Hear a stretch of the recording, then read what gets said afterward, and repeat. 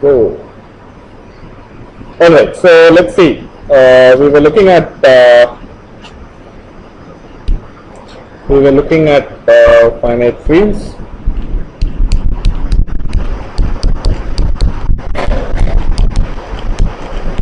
Okay, so trying to figure out all the properties of this field, etc.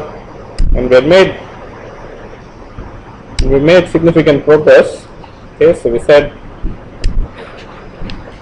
uh, if somebody says f is a finite field,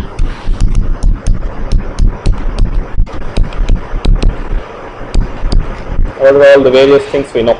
Okay, size of f has to be equal to p power m. Okay, so where m p is some prime number, and in fact in f, what is p? If you call p as 1 plus 1 plus 1, p times what should it be? Should be equal to 0. Okay, and it should be the smallest one that happens there. So p is the characteristic.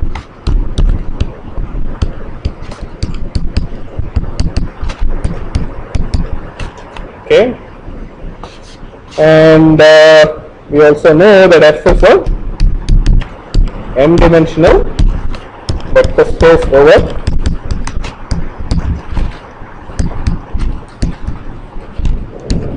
uh, ZP, right?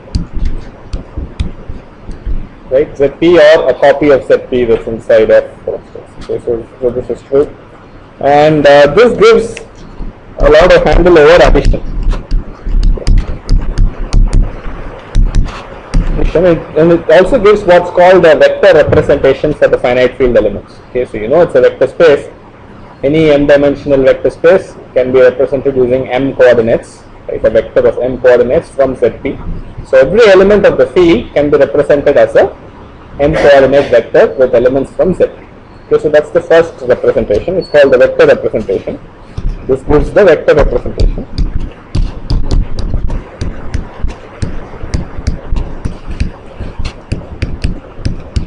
Okay? And we've been seeing this vector representation as actually a polynomial right? So polynomial is also can be thought of as a vector. Okay you take the coefficients of the polynomial collect them together that's a vector. Okay so so vector or polynomial representation. Okay? So that also is fine. And the next thing we saw was perhaps a bit more surprising it's the multiplicative structure. We saw that this f has to have an element which I probably call beta or alpha. Beta. Okay which has this interesting property. It generates the entire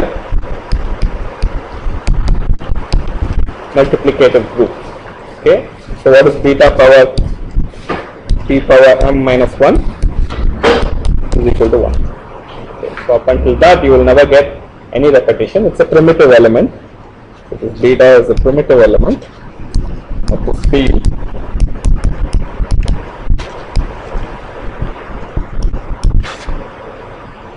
Okay. And we also saw this very interesting relationship. I want you to keep this relationship in mind. It's, it's very important. The roots of x power p minus 1 minus 1 in f are what? Okay, what are the roots of x power p power m minus 1 minus 1? All the non-zero elements, right? So these are all non-zero elements of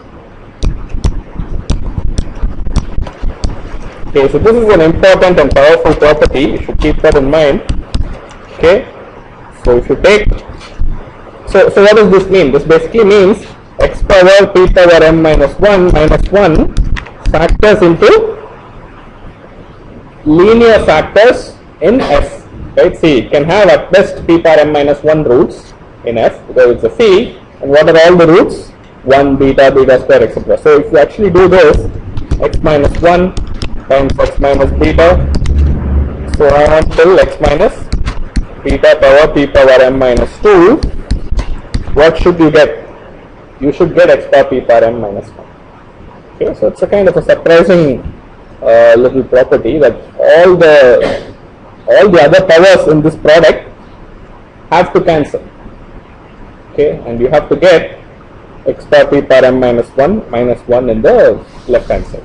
Okay, those are all the roots.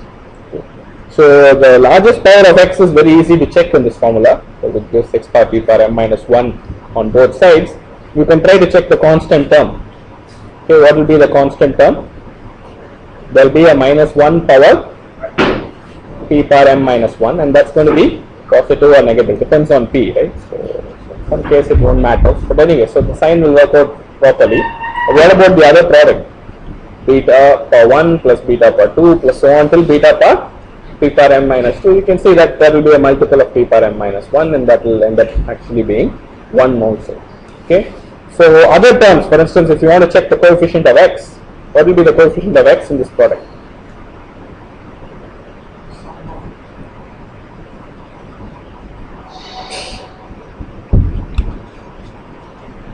What's the coefficient of x? Uh, maybe not x. Uh, the x power p power m minus 2. What's the coefficient of x power p power m minus 2? It's what? Minus 1 plus beta plus beta square plus so on beta power p power m minus 2.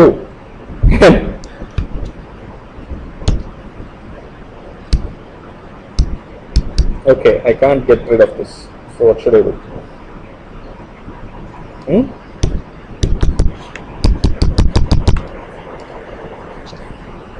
The secret?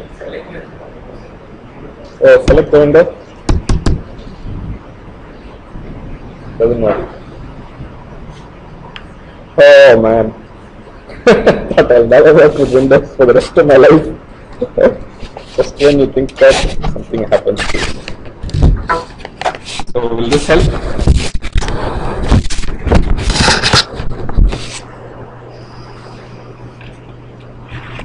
What do I do? Sorry?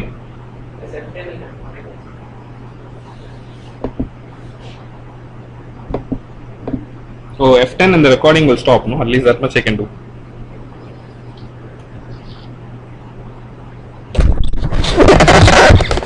So is it because it's frozen or what is the story here? Anyone knows enough about these things to somehow nothing is responding.